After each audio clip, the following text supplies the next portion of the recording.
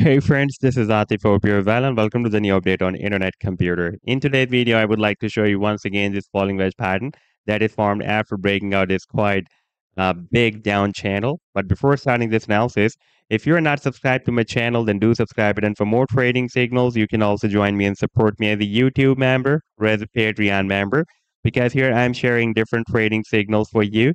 And you can find a link to join me here in the video's description I've shared.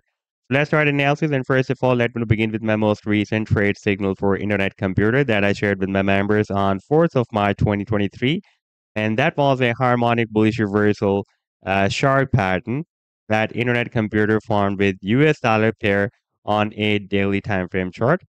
And after playing this chart you can see that the price then started a very nice reversal from this buying zone and rallied to the sell target zone and this was almost 57% pump on this four hour time frame chart, not the four hour, uh, the daily time frame chart. And before that, I shared this harmonic bullish reversal bat move that was also formed on the daily time frame chart with US dollar pair. And after playing this chart, you can see that the price and this time started a very massive reversal, by the way, from this buying zone. And you can see it was almost 135% rally on this daily time frame chart. And if you would like to catch such other massive pumps before they happen, then you can also join me and support me as a YouTube member or as a Patreon member. Because here I'm sharing such trading signals for you on the daily basis.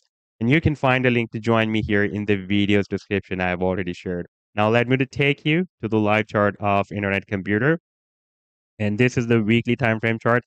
And previously, we can see that since after July 2021, it was moving inside this quite long-term down channel. We got several rejections by the resistance of this channel. Like uh, here, we had a rejection in the month of September 2021, in the month of November 2021, January 2022, uh, and here in the month of March 2022. And then we had several rejections here as well. And you can see that the price then formed another down channel within the bigger down channel. We found another support and broken out the target for this breakout from the smaller down channel was here at the top of the channel. That is approximately at $8.25 where we have a quite long-term resistance as well. And the price line again got rejected by this resistance and formed another falling wedge pattern. And now the price line is again dropped down at this long-term support of $3.35 you can see previously this level has been working as a nice support here and a support here.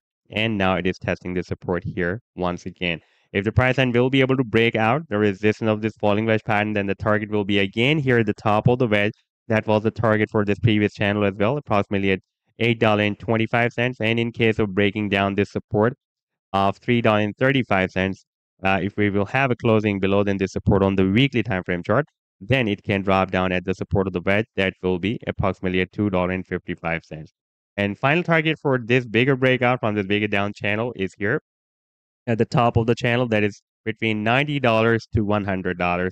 So this was the update so far. I hope that you've liked the analysis. Then do hit the like and do subscribe to the channel as well. And for more trading signals, you can also join me and support me as a YouTube member or as a Patreon member because here I'm sharing different trading signals for you. And you can find a link to join me here in the video's description I've shared.